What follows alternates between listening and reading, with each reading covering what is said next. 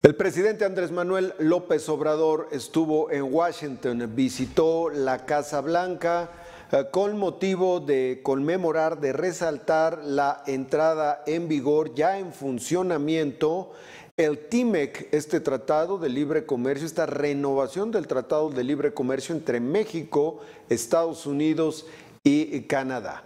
El presidente López Obrador, en uno de los discursos que dio en la Casa Blanca, dijo que su presencia se debe agradecer al gobierno y al pueblo de Estados Unidos, en particular al presidente Trump, así lo dijo, ¿eh? lo va a escuchar usted a continuación, por ser cada vez más respetuosos con nuestros paisanos mexicanos. Ahora el señor Trump es respetuoso con nuestros paisanos mexicanos. Escuche.